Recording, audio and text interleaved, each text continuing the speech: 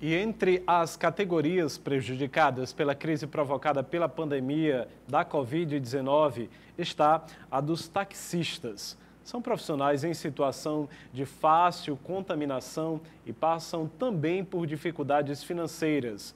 Os repórteres Daniel Santos e Pablo Portugal conversaram com taxistas na rodoviária esta manhã.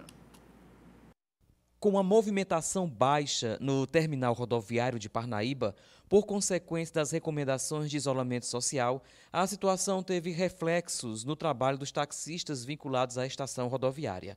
Há 33 anos no mercado, o senhor Antônio Luiz teve muitos desafios na profissão, mas este relacionado à pandemia é o que tem mais afetado. Antes só em casa, sem trabalhar, fica difícil, né? Bastante difícil mesmo. Eu passei, inclusive, uns 15 dias em casa resolvi vir hoje para só estar dentro de casa, abuso lá em casa, adoece. Aí vim para cá, mas corrida mesmo não tem não, porque não tem passageiro chegando. Mas não tem outra renda para tirar, não tem de onde tirar. Não tem de onde tirar não, é só mesmo daqui mesmo. Os taxistas que fazem o transporte de muitas pessoas diariamente e dependem deste trabalho exclusivamente estão em grande dificuldade.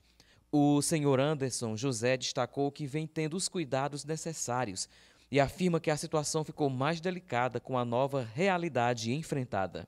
É complicado, a gente tem álcool dentro do carro, tem a, usando máscara direto para se proteger. Como parou tudo, aí a gente fica aqui para não abandonar mesmo o ponto da gente.